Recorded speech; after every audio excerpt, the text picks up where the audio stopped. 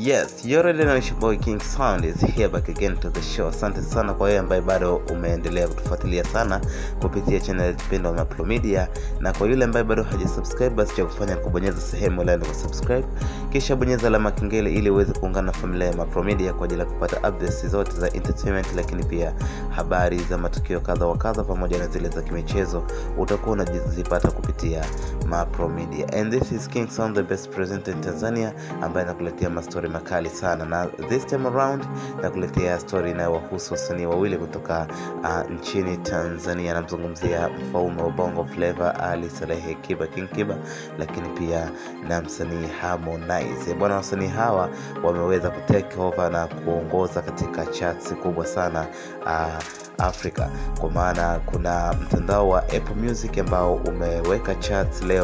kwa nyimbo ambazo zimeweza kuongoza sana na kushika nafasi za juu kwa bara la Afrika. Unafahamu kwamba Apple Music iko worldwide na kwa Afrika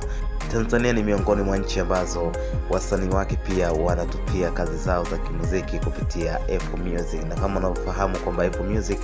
ni mtandao mkubwa sana duniani. Kwa hiyo sasa wameweza kutoa listi ya wasanii na ngoma ambazo zimefanya vizuri sana kwa kipindi hiki, na uh, kupitia chasi hizo tutakusomea hapa kupitia Apple Music Tanzania ni ngoma zipi ambazo zimeongoza kwa Afrika na kuwa vinara sana, lakini katika listi hizi msanii um, Diamond hayupo na WCB mzima haipo, hivyo anaonekana kuwa ni wazi kuwa kwa sasa uh, Alikiba na Harmonize ndio wameliteka soko la muziki nchini Tanzania kutokana na kazi zao kuweza kuongoza katika charts hizo za Afrika. Sasa nakuletea listi ambazo wametoa Apple Music uh, kupitia mtandao huu na kupitia katika official accounts zao ili uh, muweze kuona kipi kimejiri katika uh, kazi za kimuziki kwa wasanii hawa wawili ambao wameingia katika listi ya wasanii ambao wameongoza kwa Afrika.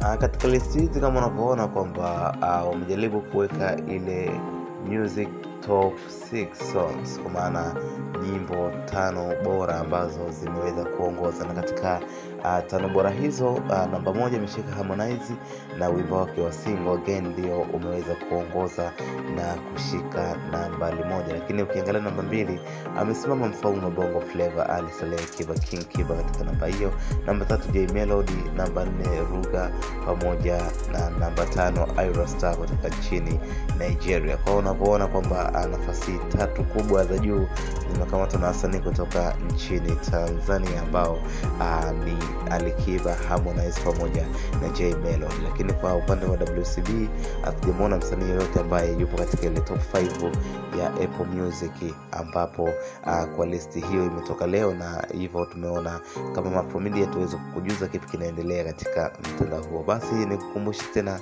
usisahau kusubscribe, kulike na kucomment. Hii ni Mapro kwa habari mbalimbali.